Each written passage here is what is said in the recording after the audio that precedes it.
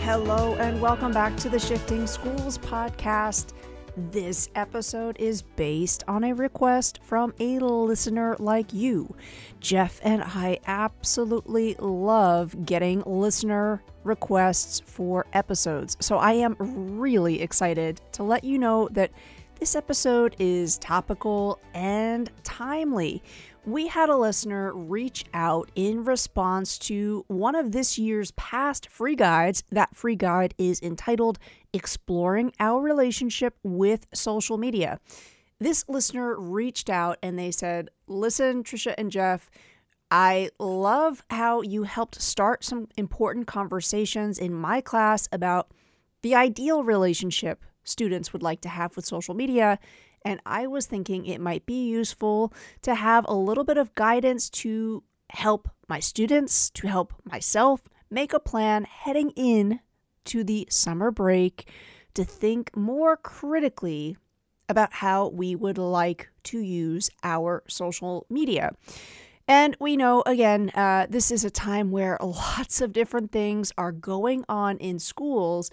So instead of an entire free guide, what we decided to do was actually come up with a one page free downloadable planner. Now, this planner is going to invite you and your students to think about a few pivotal shifts you might make. And we wanted to give this planner an acronym. So the acronym is BALANCE. Let me tell you what each letter stands for. The B stands for boundaries. When we're talking about boundaries, we're really thinking about what one new boundary we each might set for our use of social media. We're asking the question with whom might you co create boundaries? I don't know about you, but I have a few folks in my network where uh, we ping each other a lot on Twitter. So, might I agree with one of those colleagues hey, for the week of the second week of July, let's agree to take some time off of that. Might that be a boundary? Might we set a goal that stacks a new boundary on an existing one for every week of the summer? My wife and I have a boundary around our use of our phones leading up to bedtime. We know that it's not helpful for us to get a good night's sleep if we're on our devices the 30 minutes prior to. So we really try to make sure that phones are off at least an hour before we're heading to bed. And this has me thinking about additional boundaries that I might want to stack on top of that one.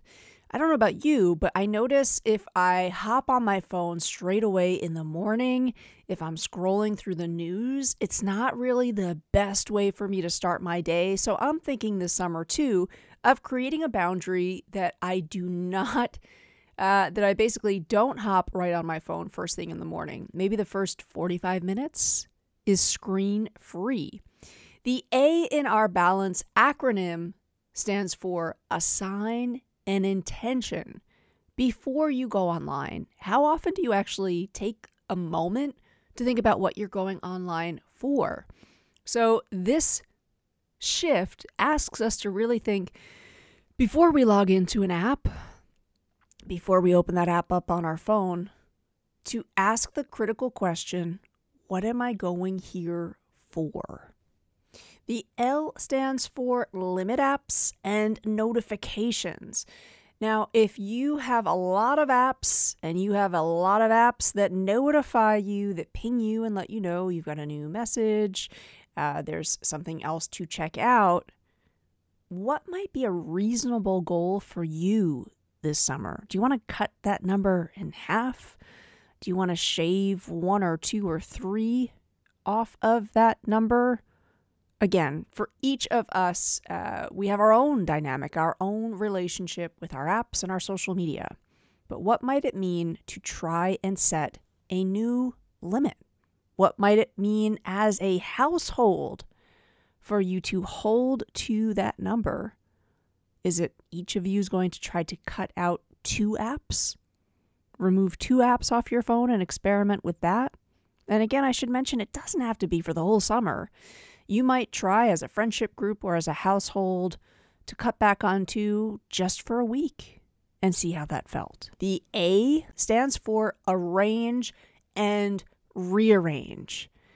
What difference might you notice just by simply moving some of your apps around on your phone? I have noticed actually, uh, one thing I've done is I've taken the app for my local library and I've put that up first on my home screen. And I've pushed all of my social media apps off that home screen just to create a little more friction so that I have to think, even for an additional moment, do I need to be on Twitter right now? Do I need to be looking at TikTok videos right now? The N stands for notice your emotions. What reminders can you make visible to help you check in with how you are feeling before, during, and after spending time on social media? Now, that might mean actually that you take this free one pager, print it out, have it in a few different spaces. Let family members in your house know that you're trying to work through a few shifts of your use of social media this summer. So have this visible just so that it reminds you to really be aware of how you are feeling when you're using these apps. The C stands for consider ways to experiment with tech free breaks. It might mean experimenting with the idea that one meal every day is tech free. It might mean experimenting with one afternoon, one day of one week is tech free. It might mean experimenting with a full weekend. It might mean that you look to stack and build on experiments every week of the summer. I highly recommend you try to bring a collaborator into that experiment process. This way, you've got a built in accountability partner. The last part of our acronym, the E, is to emphasize curiosity.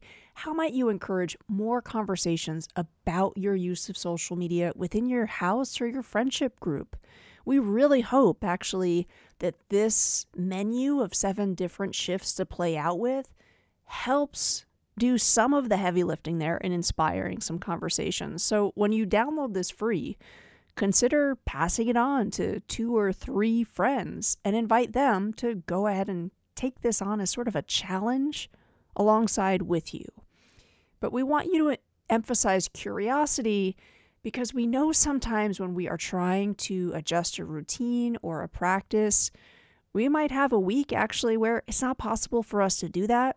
And that's okay. What about the following week? Where can you try to make an adjustment in that next attempt?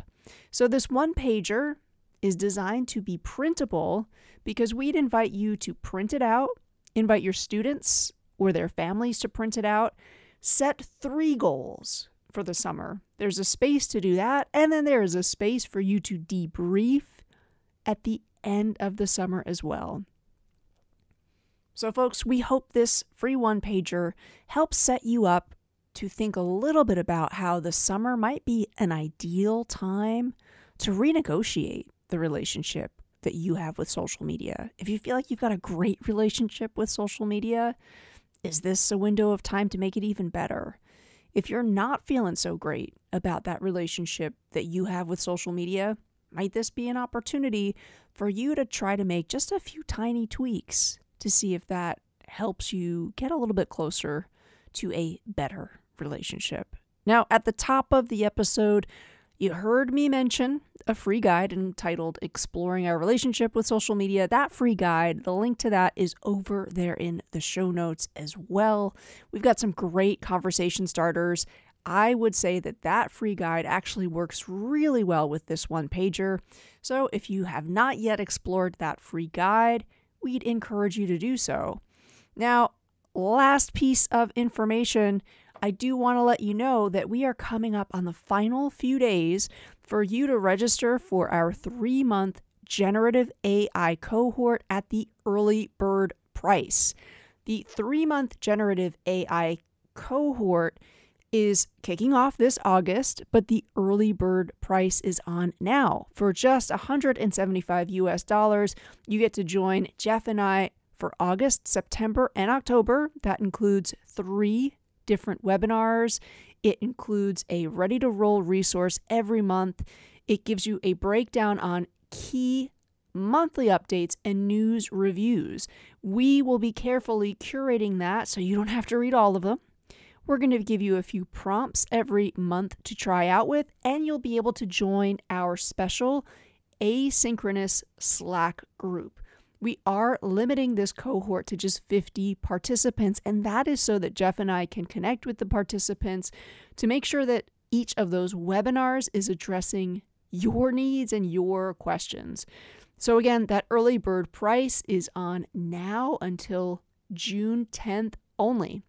The link to learn more is in the show notes. See you again next Monday.